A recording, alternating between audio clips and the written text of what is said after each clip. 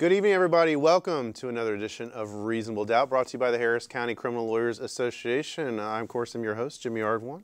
Glad to be with you another week alongside my co-host, Julio Vela. What's going on, my Davey? Every day, another day. Every day I'm hustling. it's a good day, man. We're on the air. Um, poor Rockets. You know, Oh, Jason. Jason Terry guaranteed that win. I'm glad it's over. Oh, hey, I agree. What were they saying? They were like, it was almost like they said, um, "Oh, your opponent has left the game. Would you like to continue?" So bad. Yeah, yeah, yeah. Exactly like that. yeah, it was like with, that. the, with the arcade. Oh, God. It's been a good day, though. We had a here in Houston a, an appellate seminar with some great speakers. Uh, we had a great turnout today. Shout out to TCDLA and HCCLA and all the speakers and the people involved for putting it together. Shout out to them. And you know, we're here finishing the day off with a great show. We are. It's going to be a great show. We got a lot of great topics to get to tonight. We're going to talk about Johnny Manziel. We're going to talk about Dennis Hastert. We're going to talk about other couple, uh, a couple other local issues as well as some big national issues going on. And uh, it's kind of proper, I think. Um, but before we get to that, let me remind our viewers we are going to be taking your question and comments all night long. We'll have Twitter up and going at HCCLA underscore TV. Uh, we'll also open the phone line 713-807-1794. It's just Julio and I tonight, so give us a, a call or shoot us up some uh, questions and comments on Twitter. We'll take them right here. We got a, we're going to have a, a lot of fun tonight, guys, because it is the NFL draft tonight. Uh, big big night, round one going. They've already had seven picks in, man, and two quarterbacks went number one. I was gonna say, how many quarterbacks in the first round? So far, two. The one, one and two went. Uh, Goff and Wentz went one and two. The Where'd they go? And Eagles. Um, yeah. So we've got two quarterbacks off the board. Did they say like two more to go? First well, round? you know that's that's the over under is how many is going to go. Is it going to be three, four, or five? Um, could be as many as five. But you know, a couple years ago, look, Johnny Football went first round uh, to the Cleveland Browns. Number I think it was 22 overall, um, and he has proven to be a complete and utter failure, not just as a player, um, but uh, he's really he's really failed to be a. Uh, I, I, I don't want to say role model because I don't think he ever was one, uh, but he certainly whatever whatever chance he had of being one, I think is gone. Of course, the latest uh, issue uh, this week, a Dallas County grand jury indicted him on a misdemeanor charge of, of assault, family violence, and a lot of people are questioning why it's a misdemeanor charge. A lot of people have questioned uh, why it took so long. A lot of people have questioned why, if it went into Dallas, why did it go into Dallas County when a bulk of the assault seemed to have occur- occurred in Fort Worth? And of course, Julio, you and I talked about when we got that police report that was leaked from the Fort Worth Police Department. I mean, that that was astounding in of itself. How much information we got, how long the report was, what was said in there. Um, a lot of questions, a lot of misinformation out there that I've been seeing on social media. So, uh, you know, first, I guess let's kind of start with the fact that it's a misdemeanor case and it was indicted by a grand jury. And, the, and, and a lot of people go, wait a second, why did a misdemeanor go to a grand jury instead of. It sounds so fined? bad. It, it does. It sounds very bad. But when you read that police report that was issued by, by Fort Worth and leaked by whoever, I mean, it's not surprising that a grand jury was used in this case. But why? And that's the question I ask. Why was a grand jury used in this case? I Well, I think a couple reasons. why? I mean, Well, one, you don't have to use a, uh, uh, uh, you don't have to use a grand jury solely for felony cases. A DA has the right in, in, a, in a in, in a case like this, and a lot of them use it in high-profile cases where they don't want to be the one not to file the charge. that's exactly what I was getting at. And so I mean, and so they'll use the grand jury to say that if nobody if nothing's returned, then they can say, wasn't on us. We had we had citizens review the facts in this case and they made the decision that no charges were warranted. So uh, from that standpoint, given Manziel's celebrity status, uh, if you will, the fact that he's the Heisman Trophy winner from A&M, the fact that he's you know not now a former National Football League quarterback. Um, I think that's one reason it could have been used. But the other is when you read that police report, there were some allegations that would amount to felony or could have amounted to felony charges. I mean, serious bodily injury. He's alleged to have shattered that woman's eardrum. Did she go deaf in one ear? I, I believe at least temporarily she did. Now, I don't know how you, I'm not a doctor, obviously, and we don't purport to be on this program, but when you shatter somebody's eardrum, uh, probably makes hearing difficult at best. So why did, still, so did the district attorney take to the grand jury and they just said, no, we're not going to indict him on some sort of felony and issue what's called a true bill, which where the grand jury says, state of Texas, you should proceed on this case because we find probable cause. And then the DA reacted by uh, saying, well, okay, maybe not a, a true bill on a felony, but how about this misdemeanor? And well, and that's the thing. With a grand jury, you'll never know because it's a secret proceeding. So we're not going to know what exactly was presented before them and do, whether or not they were asked to consider felony charges or if they were only asked to consider misdemeanor charges. Because if you remember, there was some police reports or reports about what the Dallas police were actually investigating. And, th and this goes back to how it got jurisdiction in Dallas. Uh, because if you recall when the story first broke, it was all about Fort Worth, Fort Worth, Fort Worth, which would be Tarrant County. But apparently the fight began, the alleged fight, began at a hotel or outside hotel of the valet Zaza. Yeah, the Hotel Zaza at the valet stand uh, at the Hotel Zaza, which is in the uptown portion of downtown, near right outside downtown Dallas, uptown Dallas. And so that's how the district attorney, the Dallas County district attorney, got their hooks into this, so to speak, and had jurisdiction. But we don't know, other than the, the, the reports, the, the news reports that the Dallas County Police Department and the Fort Worth County, uh, the Tarrant County Police Department, or the Fort Worth Police, were looking at possible Class A misdemeanor charges. No one ever brought up felony. Do you think that this is Dallas and that's why nobody brought up felony? Big name, big big lawyer in town, big sheriff. We're going to let the people decide and puts them in a good procedural posture to to fight the case or politically well I, like that? I think it's you know probably more of a political thing uh, more than anything.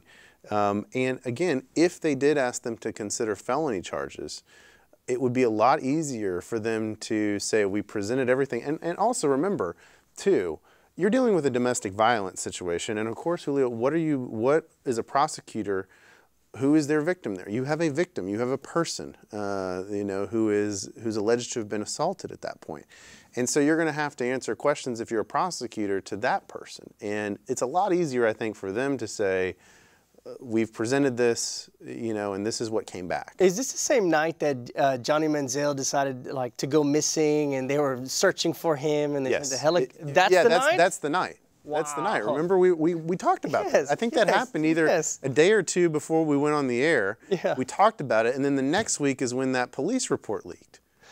For, for, for that's worth. right. Now, why do you, do you think it's because it's a high-profile case and politics are involved? Why it took so long for Manziel to come in, or do you think he was just happy dancing out in Coachella somewhere, yeah, right. enjoying himself? We got a picture of that.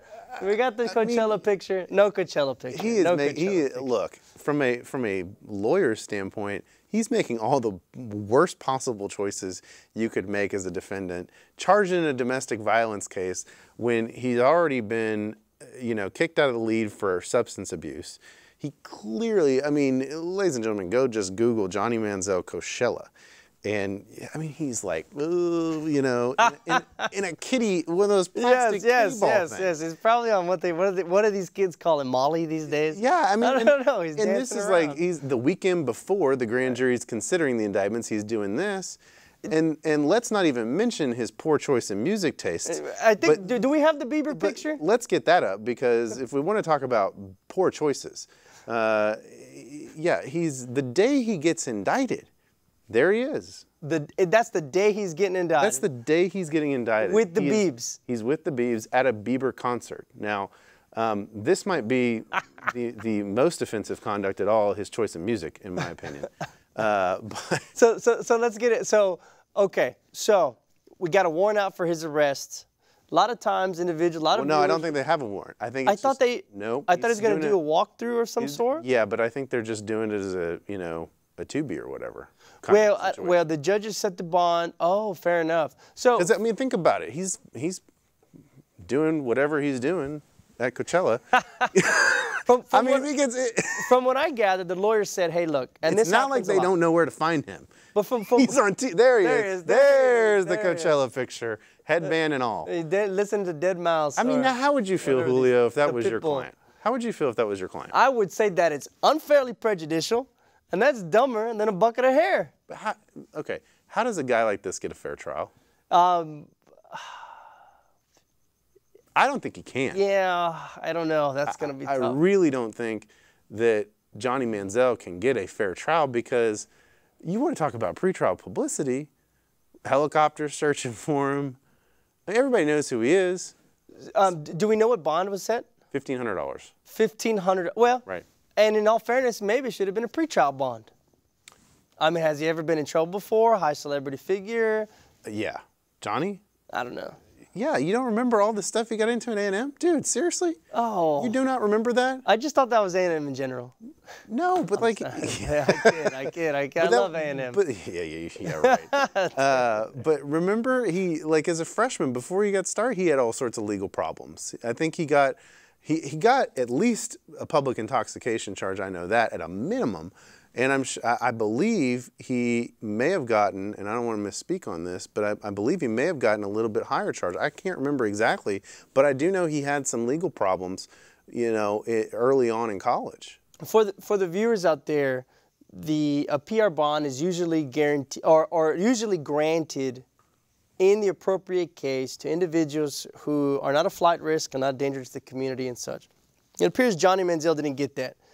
And his lawyer, before turning himself in, said, Judge, set the bond. And a lot of times you'll hear something called a walkthrough. I'm not sure if this is what Johnny was doing.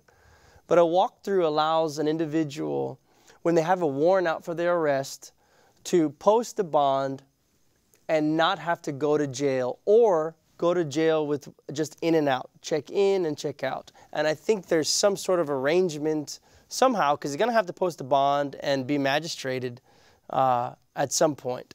So I think this is what the his lawyer has worked out with him, called an in and out or a walkthrough, uh, most commonly known as. So what's the next step for Johnny? I mean, what's he looking at, and what's it, what what's he looking Well, at? What's the next step? I mean, isn't he's going to have to make his court appearance, first court appearance, I believe, next week. So, he's, well, first off, he's going to have to, you know, obviously do his walkthrough, post his bond, but then I think his court date is set for sometime next week. Uh, so he'll make his initial appearance, which, in all likelihood, it's going to just be come in. There'll be a horde of cameras around the Dallas County Courthouse. We should go. we should go. Go with our And I'm a lawyer, yeah, it? with the Yeah. bar card and just Oh, like man. you know be Uh, up there. And But, but it's going to be a non-event. It's just going to be they're going to reset it to another Yeah. date and they'll come back later. do you think? Okay, you sitting on the on the bench. Do you give Johnny uh, Well, he's going to be a mo- he's going to have a. Uh, a magistrate's order for emergency protection? Absolutely. Maybe. Um, yeah, I mean, I, I, he's going to at least have a protective order uh, put in place against him, if, if, unless she already filed one in civil court. But they'll put one on anyway in criminal court. And from what I understand, the lawyer said that he's going to enter a plea of not guilty. Well, yeah, but I mean, does he really have to do that? Well, let me ask you this. From what I understand, there is an out of court civil settlement regarding the injuries to, That would be inadmissible in criminal court. but a motive to testify? Well, Bias? are you talking about like Greg Hardy? I, I, from what I understand, they've settled out on this, Well, this eardrum bashing. Well, thing. but the same thing happened. Remember Greg Hardy, who was uh, played for the Carolina Panthers and then for the Dallas Cowboys last year. Remember with him, he actually went to trial on domestic violence charges and lost. He appealed it. They vacated the conviction on appeal, and then in the interim, before the retrial occurred, there was a civil settlement, and then the the ex ex girlfriend decided she wasn't going to testify after she got the settlement. well, and and and that would be up to the DAs whether or not to compel that individual to testify. Well, right, because I mean, just because a individual says I don't want to come testify, doesn't mean that it's automatic that the DA drops the case. I know if they I, legally have the right to still prosecute the case. And and right, but as the defense lawyer, can you imagine just chomping at the bit at that. and Oh, sure. you received it, and maybe the settlement is pending uh, on the pendency of this case. I would love to cross-examine that at a as a motive or bias to testify in their testimony, whether or not. Uh, now, if it's settled, I think it might be over with. How, however, uh, what's good for the goose is good for the gander.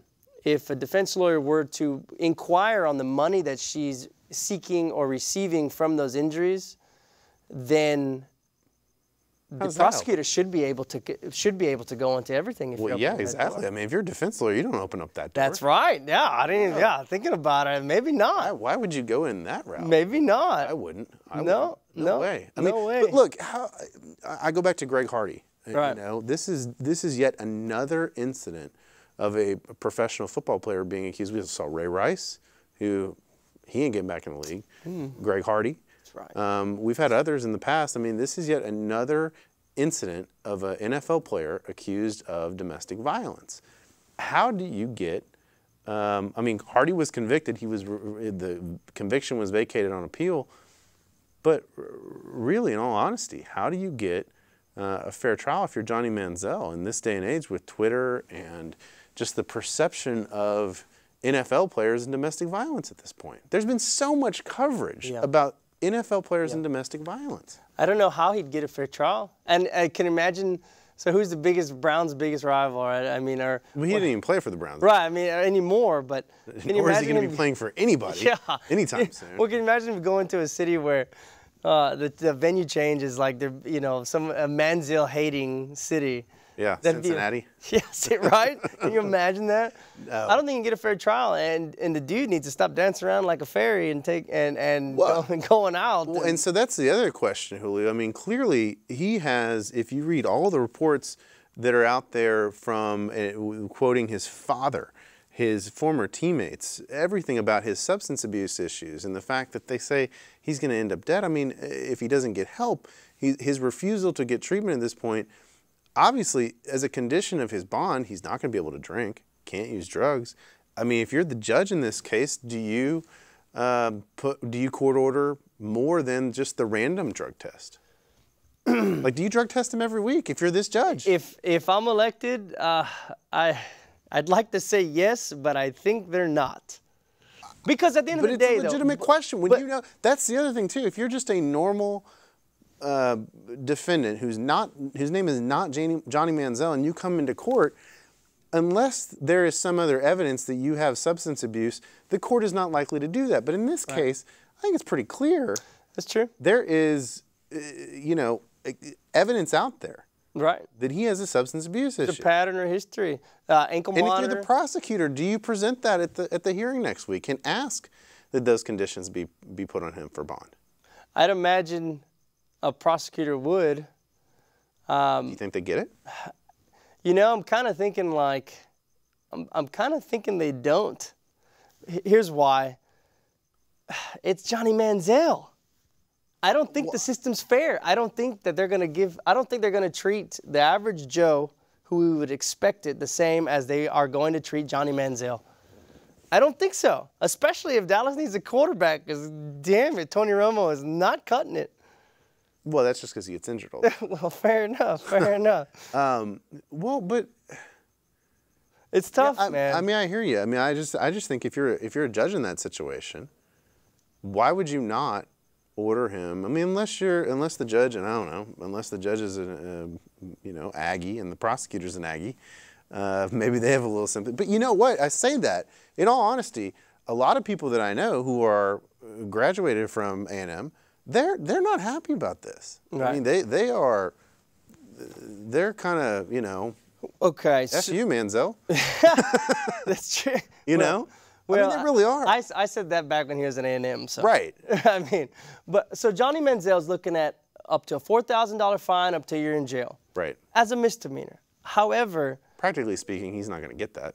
well, he the thing that he has to worry about is that affirmative finding of family violence. Yeah. That the affirmative finding of family violence happens when you're accused of injuring uh, or assaulting an individual or a member of your household. Now, in Texas, that is a broad uh, definition. cousin, girlfriend, ex-girlfriend, boyfriend, ex-boyfriend, nephew, niece, uncle, roommate, anything like that. Once you get branded and accused with that, and if you plead guilty or cop to a deal, usually involves an affirmative finding of family violence that will deny your rights to have any guns. It'll also brand you for the rest of your life as generally a woman beater in Johnny Manziel's case. Well, and, and, and go a little further, it, that affirmative finding can happen even if you get deferred. So uh, even if you get a deferred adjudication, which normally in a case, if you get deferred adjudication, of course, it's a form of probation where if you complete all the terms and conditions successfully, your case is going to get dismissed, and then after a waiting period, you can file a petition for non-disclosure and have the case sealed. However, in a domestic violence situation, if the judge makes that affirmative finding and attaches it to the judgment as part of your deferred adjudication, you're not going to get that case non-disclosed. That's going to be a bar to the non-disclosure, and it's also going to be used for enhancement purposes the next time around. which will be a felony, That's right. two to 10 years in prison. And I can almost guarantee you his career would be over. He'd have to, A&M would have to do what they're doing with Vince Young, bringing him back, you know, and working for like, I can't see that happening. well, it's a pretty bad, you know, Vince Young just got charged with D- D- I did see that. and The university kept him on. Yeah. You know, But there's no affirmative finding of family violence because those types of charges carry a special stink to them. It's not like a DWI. It's not Well, like and that's what I'm saying is that there's been a lot of NFL players charged with DWI. That hasn't, you know, really, obviously, it's a problem, but it's not.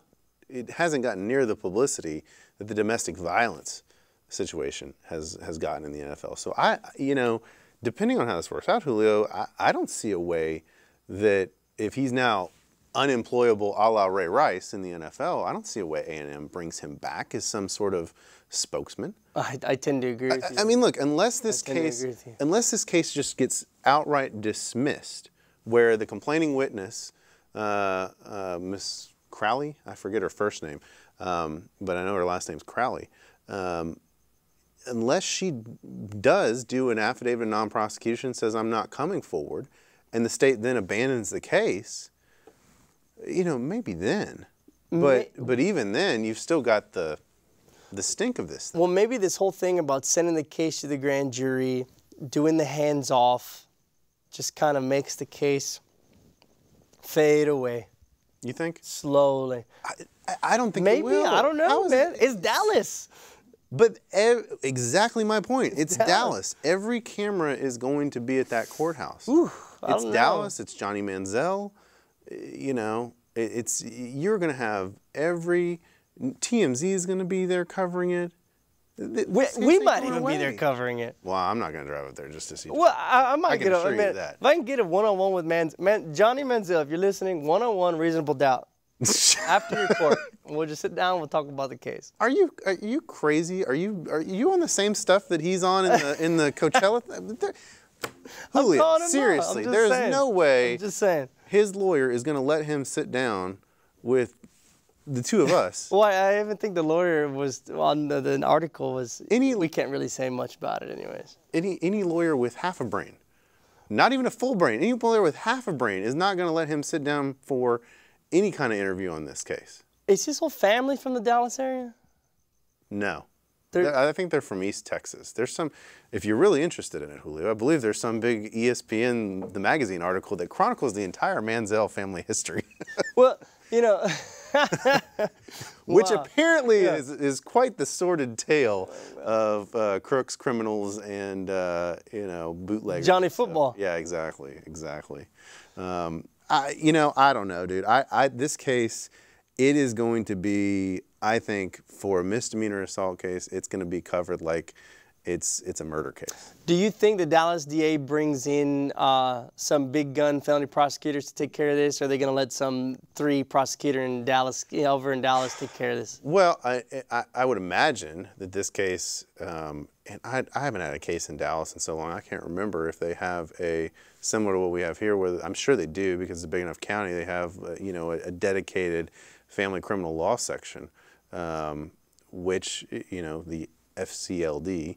Um, so I'm, I'm sure that this case, because of its nature, would be, if it was here, I think he'd be assigned to that division just by nature of the, uh, of the personality he is. I don't think they would want, um, I mean, that's my Im- impression, that they would not just assign, un- unless there was a prosecutor already assigned to that court that the elected DA or the supervisors trusted to make the right decisions going forward and not, you know. Right. But you know this one's going to go up for approval. I approval. know, of course, it has to be, it has to be. is done. It has to be, man. I mean, they're not gonna let some prosecutor bumble all over this. Oh, they're not no, going to do that. no. You know, um, maybe the lawyer. That'd be a great. The lawyer. I haven't heard of him, but apparently he's a, a, a real good lawyer up Well, I think if I remember right, and I, I, I saw somewhere, but I wasn't able to, to verify it, but I think um, he represented Susan Hawk, the DA, with her issues before. when she decided to split. Yeah. Is she back? What happened with Yeah, that? she's back. So She's she back, took the I think- sabbatical and back. Right. Wow. Yeah, she's back doing her thing. But I think, you know, I think, um, I think his lawyer is the same lawyer who represented her. Dallas. Yeah. That's Dallas, man. That's straight D We'll, we'll, we'll, we'll follow it, and uh, I think it's going to be just a. I think it's going to be crazy. I'm looking forward to it. We'll see what happens. Um, the other the other big case this week, of course, is former uh, Speaker of the House uh, Dennis Hastert. Uh, he, of course, pled guilty, and earlier uh, this year, perhaps into last year, he pled guilty in federal court up in Chicago. And there's uh, former Speaker Hastert right there. I love that we got him with Uncle money in his hands to follow Johnny Football. Oh, man. Because that's what this case was all about. Uh, for those who aren't familiar with the case, he was indicted federally, uh, and uh, it was he was indicted for lying to a federal agent and for structuring financial transactions. Uh, if you read social media and you read the news, uh, the headline says he gets 15 months for, uh, you know, um, child Pedophilia. pedophilia, being a child molester. That's not the case, ladies and gentlemen. He, he was indicted for lying to a federal agent and structuring financial transactions. Now, the factual background for to support why, uh, the, the allegations against him was that uh, he was paying off uh, some teenagers, at least one teenager that we know of, but apparently there were multiple teenagers that when he was a high school wrestling coach back in the 70s, Hastert had uh, sexually assaulted, uh, had molested, and he had entered into an agreement to pay at least one of these, pay hush money to one of these individuals in the form of cash Large cash. in the amount of $3.5 million. And what happens is he gets to about 1.7 and says, "Nah, I'm not. I'm not going to pay this Yeah. anymore." Um, and so that's when, as I understand everything, that's how the issue is then brought to the feds. Um, now, there's also that's what the reports are. But the, the fact is, the way you get to some of these financial crimes is that the banks, through the Bank Secrecy Act, they have an obligation when somebody is taking cash like this out, they have a duty to report it uh, under the rules, under the Bank Secrecy Act and the other financial uh, currency transaction reporting rules. They have the obligation to report suspicious activity, what they call SAR, suspicious activity reports. They have an obligation to, to relay those to, guess who? The FBI. And that's what they did in this case. So all that 1.7 million, the agent comes in and says, I'm looking Where over your bank go?" statements here, and I see uh, 10,000 out here, 10,000 out there, 20,000 out here. And so he looks at all this and confronted about it and says, uh, Mr. Hastert, are, are, you know, are you taking this money out because you're you're taking it out of the bank and storing it for safekeeping Under your somewhere else?" mattress? Yeah, like the apocalypse is coming. Like you know, because he's he's worried as the Oh, former it's so Speaker of the funny. House of the economic so the funny. impending economic collapse, and he says, "Yeah." Now, and this is where the victim going to the FBI comes into play. So the FBI has the, the suspicious activity reports. you got the victim who comes to the FBI and says, here's what really went on. And so when the FBI agent goes in and questions Hastert about this, he says, oh yeah, that's what I, I was just taking that money out and saving it. Boom, there's your line to a federal agent. That's that count. And then you get the structuring of financial uh, transactions. Now, he got 15 months in federal prison. And everybody, of course, is outraged that he would get 15 months for this. Uh, apparently, the government was trying to cap his exposure at six months. Six months for this whole thing. Um, politics. Well, it is. It, it's politics, but it also goes to show you, Julio, that when the when the government wants to kind of when the federal prosecutors want to, they can manipulate things, and this goes back to the sentencing guidelines, how they've taken the power away from the judiciary to really decide cases. And in some cases, that can be a very bad thing. In a case like this, however, uh, this this was a very good thing that, that for for the client. Not I'm I'm not saying it's a good thing because obviously the perception that's out there is he committed these awful acts and he only got 15 months for it. Now, a lot of this stuff was because the statute of limitations for the child molestation charges had long since expired, and so the only thing they can go after him on is obviously the federal charges. But in this case, it worked to Hastert's benefit that his lawyer, his lawyers were able to negotiate a very, very, very good deal for him. so this guy molests some other um, young kid, young male yeah. Uh, pays him about a million and a half over the course of 20, 30 years. And then once, do you think he knew that once, you know, that his exposure was limited, he decided to stop paying? And if he had to swallow this pill, he knew he'd probably get 15, 10, 20 months. Because keep in mind, I mean, I guess they could sue him civilly afterwards. Well, no, the statute of limitations would have run on that, unless you sue under some breach of contract theory. Well, well, fair enough. You know. And so he so he goes, does 15 months. That's about as much as he can do, and he keeps the rest of his money to himself, mm-hmm. and he mm-hmm. can go retire. And yeah, it's it, it's hard to say why, but you know the irony of this thing is, of course, all this stuff. You know, he was one who he voted for a bill that would have eliminated statute of limitations on sexual abuse of children. You think it's a little Freudian, Freudian kind of like guilt going yeah, on there? I guess, you know, but he, here it is, and, and, and uh, he is a guy who, uh, you know, there, and, and I mean, the most amazing part is if you look at who wrote character letters for him. Who did? He was who, a Republican.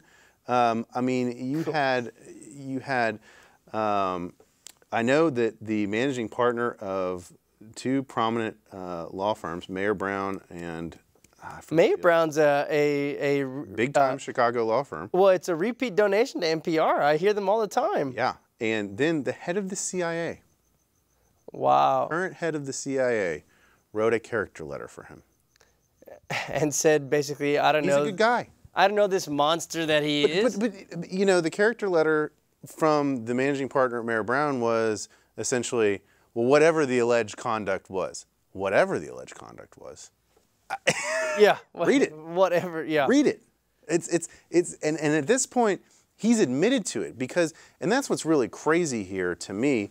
And and I I don't know exactly what went on at, at the sentencing hearing, but that judge was clearly angry. And I think it's disingenuous, and this is where his lawyers, although they negotiated probably a very, very good, what, what amounts to a very good deal, I would never have let character letters, a character letter like that go before a federal judge, whatever the alleged conduct is, because if you're going to go before a federal judge, those character letters that you wrote, that you have people write on your client's behalf, I always tell people, you better tell those people that are writing character letters on your behalf, you tell them exactly what you did. Don't, don't leave any mystery because I don't want there to be something like that, whatever the alleged conduct right. is. No, because you signed a factual basis for the plea and you stipulated that certain things were true. And so if you if you're not willing to go tell the people who are writing character letters on your behalf that, then what good is the character letter? Because the character letter should be despite these facts. And it- despite what he has admitted to. Okay, whatever the alleged conduct be, isn't is not the way to start a character letter. For, for the viewers out there, that's a wonderful practice tip. When you're getting people to write your letters, first of all, don't get your mom, don't get your brother, don't handwrite it. So have somebody type it up who can talk to you objectively and that you have informed completely of the charge and let them relay how they feel about you after knowing about the situation you're in convey that in a, in a proper letter. And it almost seems like, you know, that's almost good lawyering 101. You don't put a fluff letter in there unless you got some other letters that are really good. No, you don't. I mean, that, and that's the thing. And, and, and we, we do it on the state side too. It's not just federal court. Now, obviously, federal court, it is very, very important to have character letters because that can be the difference between a departure from the guidelines or not. But, but it's, they're still used on the state side, particularly in cases of pretrial diversion, Right. uh, where you're trying to attempt to get pretrial diversion from the state, or if you are going to the judge for sentencing, i- i- where where you can't reach an agreement with the state and you end up going to the judge. I mean, I've had, I've done it. I mean, a lot of lawyers don't, but I think it's good practice. If you're going to have a sentencing hearing, you know, in state court, you almost want to do what you do in federal court, which is write a sentencing memorandum explaining everything and send character letters. But don't send character letters said whatever the alleged conduct was. I mean, that was, that was horrible. Do you um, do you think okay? So did the judge do a departure from the guidelines, or was he hamstrung by the guidelines? You said you, No, I think what happened in this case was uh, based on the indictment, and I didn't. Um, the plea agreement I could not pull, so I didn't didn't get to see the actual plea agreements. Plea agreements are usually sealed, so you can't get a copy of those unless the court unseals them. My guess is uh, that this judge sentenced him within the guideline range. Okay, for whatever it was, for whatever this was. Now they did some manipulating of the numbers because the the quote loss amount for the structuring transaction, what was in the indictment was about nine hundred thousand dollars. Well, we know from the facts that he paid out a million seven, and we know he was intending to pay him three point five million. So uh, his sentence sh- under the guidelines could have been a lot higher based on if they had gone because under federal law the prosecutor could seek the intended loss not the the actual loss so you know they could seek the intended loss although in structuring transactions it makes it a little dicey because you're actually dealing with the structuring of financial transactions you've at least got a million seven. So they cut him a break there by only indicting him on, on 900,000. Uh, so, I mean, I think his, his sentence should have been a little higher, honestly, which, which goes to some good lawyering. let me ask you this though: Does the victim play a little bit of part in such a weak sentencing? If, in other words, you know what, maybe you didn't take the one and a half million dollars, but maybe you said something right away. No, I don't think so. I don't think so on this. I mean, I think if anything, if this judge could have found a reason to give him more, he probably would have. I mean, it could have been that the 15 months was the top of the guideline range too. I don't know where where it came out after they did everything on the plea agreement. Um, the, the 15 months could have been the very top of the guideline range. I just, I just see this guy. as- I, I, first of all, where in the world does the speaker get that much money to pay out? I guess it's over time, but I mean, Still, I mean, it's, does it does beg the question: Where does he have the? He was a high school wrestling coach. Uh, he wa- he did work for a law firm though. I mean, he he was he was a lawyer at some point, uh, and and I, I, I believe uh, worked worked as a lawyer for a little while. But it does beg the question: uh, Where where did he have the kind of wherewithal to get this kind of cash? how much time did that um, the Penn State coach get? Did he get life or something? I will tell you. I mean, that, that it's, it's kind of a similar scenario. This individual, you know, 20, 30 years ago, is doing some really horrible things to some really young. Well, to be fair though, Sandusky was uh, doing it right up until very recent though. It, Was it recent? It oh, wasn't- Yeah. Oh, yeah. well, yeah. I mean, he. Uh, it, it was not something that. uh, let me see here. and Sandusky went down for a lot. I mean, I don't. Yeah, I mean, it, it, he went his life, last double his, life. His last. Um, it was sexual abuse from a for a 15-year period from 94 to 2009. That was Jerry Sandusky. Uh, he was found guilty on 45 of the 48 uh, charges and sentenced to 30 to 60 years in prison. Um, that's interesting. So, uh, some other states have what's called indeterminate sentencing for adults. So, Right. I think that might be something like a 30 to 60 years. In, in the state of Texas, we, we don't have that for adults. We have, you know what, if you're doing 30 years, you know, we have a formula that you'll be eligible for parole, but that you kind of know at 30 years, worst case scenario, you're done. In other states, like you have a 30 to 60 range, and you could be released at any point between there. It's very similar to juveniles here in here in Texas, where we have indeterminate sentencing, where you know if your if your child gets sentenced to the uh, corrections divisions for juvenile, uh, I forget the name off the top of my head, but uh, it's an indeterminate sentencing, and they can be held there for until they think that the individual's uh, been uh, rehabilitated or is fine uh, to and learned his lesson. Um, so we got Sand- uh, going back to Sandusky. He did No, you mean Hastert? well uh, on Sandusky. He did. How, how, how long did you say? Did, has he, He- been sentenced? Well, he said got 30 to 60 30 to years. 60 years. That's Yeah. right. Um, versus the 15 months. Right. I mean, it's it, I mean, yeah. I mean, look, when you take out the the financial, but it's like what they got Al Capone for. They got Al Capone for tax fraud. You know, they didn't get him for the murders and everything else. They didn't get him for the for the sexual molestation. They got him for structuring financial transactions and lying to a federal agent. They got him for covering it up. Um, Do you and think- that and those those charges, they don't carry as harsh a penalty, obviously. did do you think he's going to go to some supermax or some medium No. security or No, he'll go to a camp. He'll go to a federal prison camp. He's 74 years old. well? And, and, uh, look, you think they're going to put a 70? We've talked about on this program before the aging prison population. So we're putting, look, we're going to put a 74 year old in prison for 15 months.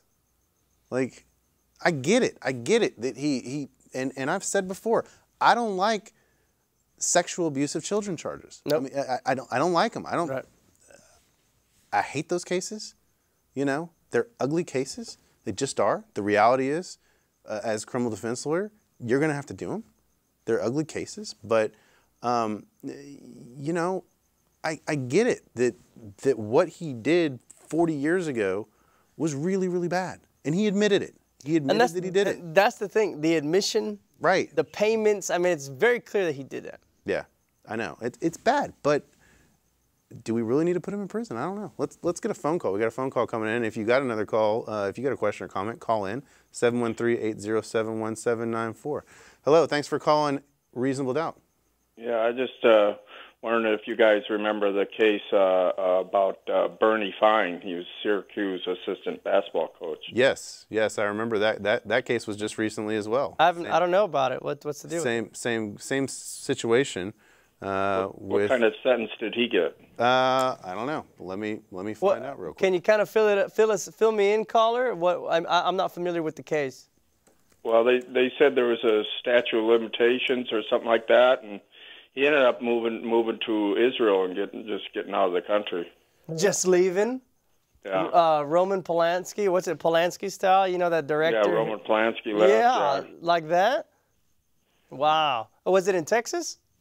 No, it was up in uh, Syracuse, uh, New York. Yeah, it was. A, he was a former Syracuse. He never got charged. He ne- they never charged him. Um, Yeah. I'm looking at it here, uh, but I remember the case, um, and statute of limitations would probably bar any prosecution, so the state never went after him. And then the the feds in 2012 said they weren't going to go after him either. Um, and then in 2013 he said he was going to file a defamation character lawsuit against ESPN. Good luck with that one, buddy. Uh, it, that one was dismissed actually just last month. Caller, March. let me ask you just from a public opinion, caller. You still there? Yeah. Do you think this whole there should be statute limitations on these types of cases, or do you think? No, I, I think that these kids they suffer for a long time, and I think that's uh, that's not appropriate. You know, I don't know. I think in Texas it's till they're eight, uh, 10 years after they're 18 or something. I, I don't do very many sex cases, so I don't know. So if there's a caller out there that a lawyer that knows out there, give us a shout. I think it's you know, 10 years after you turn 18 or 10 years from the date of outcry? Do you know, are you familiar with any of that? No, I'd have to research it. Yeah, I, I, I don't know either. You're, but ask, you're asking me to do that, but do, yeah. Do you think that there should be statute limitations for things like murder or things other other types of charges, caller?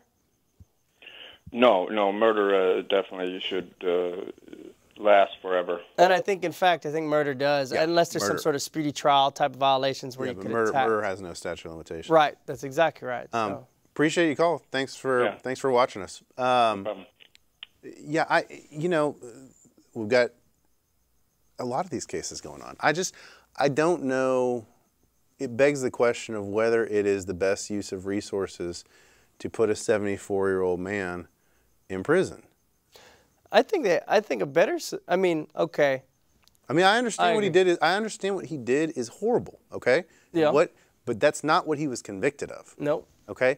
And I, I think to some degree, the punishment, even the prosecutors asking for six months, uh, and the judge sentencing to 15 months, the punishment was based on conduct that he was not convicted of.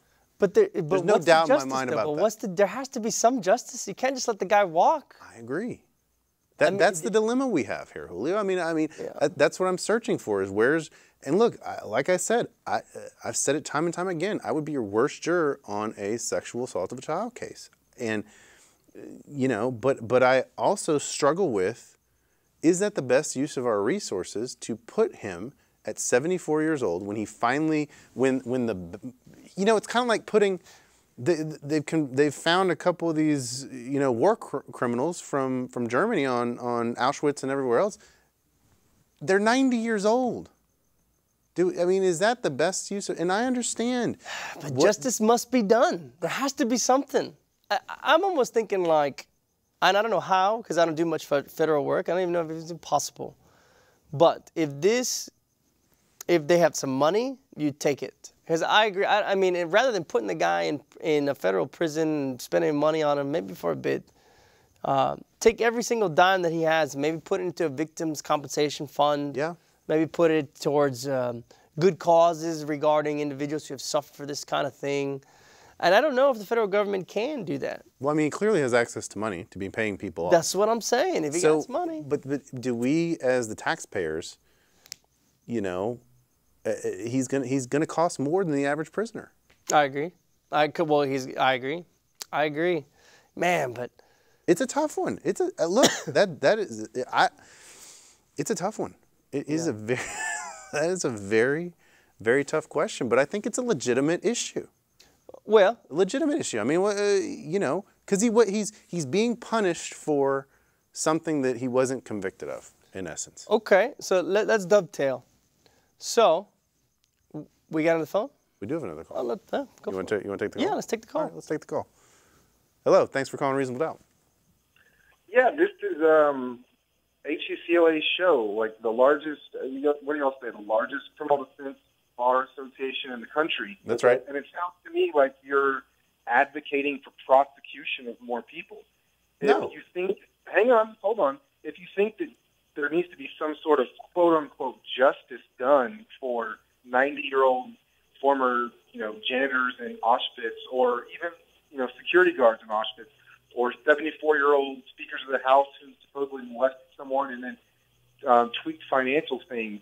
Is there some other way of prosecuting, some other way to seek justice? Let me, let me rephrase that. Is there some other way to seek justice besides prosecution, like we saw in South Africa? Now, I'm not going to try to get way out there, but in South Africa, they had the Truth and Reconciliation Commission.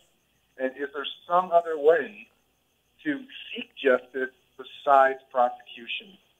Well, and that and that's my point. I mean, I, I, I don't think. I mean, I'm not advocating that, that. And thanks for the call, by the way. But I, I- I'm not advocating that more people be prosecuted. My my point is he's being punished for something he wasn't convicted of, and so is this the appropriate punishment in this case, given what he was convicted of, given his age?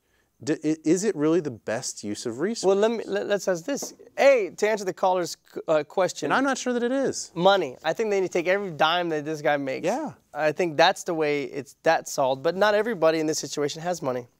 No, they but don't. but two, I think that justice, ha- the, the, yes, and it's not more prosecution, but justice has to be done. When there's, I'm a defense lawyer. I am a defense lawyer to the core. That is how I live, I eat, sleep, and breathe it. But I still think that there needs to be justice. Yeah, and justice can come in many forms. I mean, you you know, justice when when people admit to doing wrong, you know, your your role as a defense lawyer is to mitigate the damage. You know, it's not you can't, and that's the thing about how do you define win and loss in this profession? Well, you can't win every case. You can't get an acquittal. You can't get a not guilty in every case. I mean, the reality is, the facts are against you in a lot of these cases. Okay. So And you know and you're- sometimes and you're a card yeah. player. You're not a card dealer on this. Okay. You have to play it. Obviously, you want to hold the state to their burden.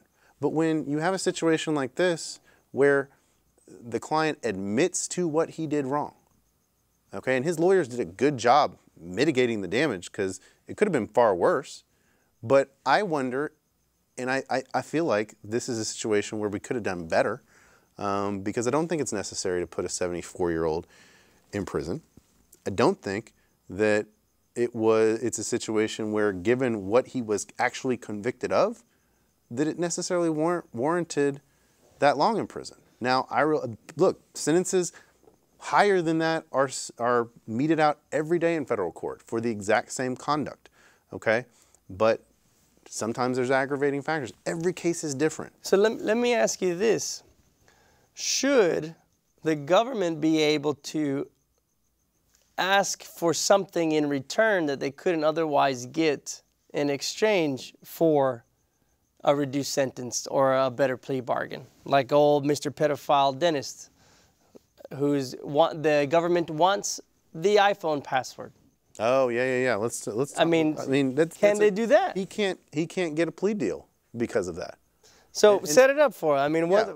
Well, so there is a, um, uh, you know, this is a, a- he was a, was it? He, he was dealing meth and kitty porn, um, and he's He must have been a bad dentist. yeah, and he's in Manhattan. He's charged with distributing methamphetamine and child pornography.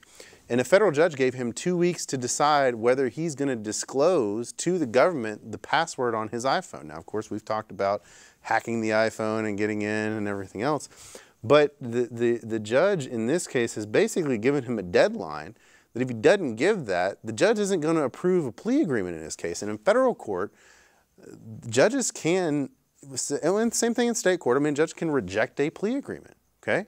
But in, in, in federal court, you can go to the court with a plea agreement, and uh, the judge will say, "I'm not, I'm not accepting that plea agreement. You can take your, you can plead guilty, uh, but I am not accepting your plea agreement. Is that And I'll so- let you withdraw your guilty plea if you want, but you know, uh, and, and even then, they might not let you withdraw your guilty plea. Is that so long as the plea agreement's within the guidelines or within the range? Because I've always uh, been told in, in the limited federal cases, I've probably had about five on my own. Right. And all of them, it wasn't necessarily negotiating with the state on some sort of plea deal. It was, well, we're going to have to go, we're going to have to have a hearing, and the Yeah. judge will determine. The judge, the judge will determine whether or not you want to plead guilty.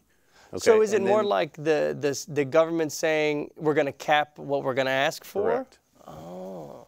Yeah. And in this case, the judge has said if you want this plea agreement, you're going to have two weeks to hand over the the um, the password to your phone. So the only reason he might not want to hand out the password to his phone is because his he's gonna get popped for a whole more. lot more, Exactly. right? I mean, because if you're gonna save your butt, you're gonna give your iPhone password. But it's like if you It- got some bad pictures on your phone, you're gonna want to keep it secret because the government, I guess, up until a couple weeks ago, couldn't get into your iPhone. Right, right. And and so they have the in this case, they haven't offered him a plea agreement be, because of that fact. They haven't done it because they're trying to determine whether there's more criminal conduct. You know, he's trying to cut a plea agreement. He's basically coming in and saying, "Hey, look, you got me. I'm good. Let me let me, you know, plead guilty to all this stuff." But they're saying, "No, we aren't going to do it. We're not going to give you a plea agreement until we know whether you've you you know there's more criminal conduct out there." And uh, you know, the judge has basically given him a deadline, says you have two weeks to do this, or you got to decide whether you're going to trial or whether you're going to try and, and and plead this case. What do you think? Should is that the same type of? Is that coercive? Is that fair? What do you think, man? Well, I mean, it's certainly coercive, no doubt about that. Um, but at the same time, you know, Look, if I had to give a password up to save my ass, I'm giving my password out. But there's no guarantees it's going to save your ass. There isn't, and that's and I think that's the that thing. That and that that's the struggle with again. This is this is the conundrum that that defense lawyer has, because he's sitting there going, "Geez, you know, I mean, it's I can gonna- it might be real bad. it might be there might be some really bad stuff on there." Really bad stuff. And I'm assuming he probably knows that already because if he's if he's worth his salt as a defense lawyer, he's either probably examined it himself or at least asked his client, "What the hell's on that phone, and why do they want into it so Yeah. bad?" You know? Um, yeah, I mean it's it's a uh, When's the last time you ever heard of a poor dentist? My brother's a dentist. Tons of money. never seen a. I've never seen a poor dentist. I mean, uh, good. Let's drop another call in here. Come We got another on. caller. Hello, thanks for calling Reasonable Doubt. Yeah, quick question. So uh, uh, we have a judge here says hand over the password, or we don't, you know, uh, or, I'm just not going to accept this plea uh, deal. Uh, question is, what what happens? The guy has a cell phone, uh, destruction of evidence. He attempts to, or actually destroys whatever other evidence he has on that phone, including, you know, digital files, what, whatever it could be, uh, that could lead to other charges. Does the state They'll file. him with? Yeah, they'll file charges on him for tampering with evidence. Um, and, and caller. I mean, you, you've heard it. I mean, social media is a bad. You know, it's very difficult for as a defense lawyer to say, take that Facebook post down or any other, you know, Facebook post, for example, that could be bad.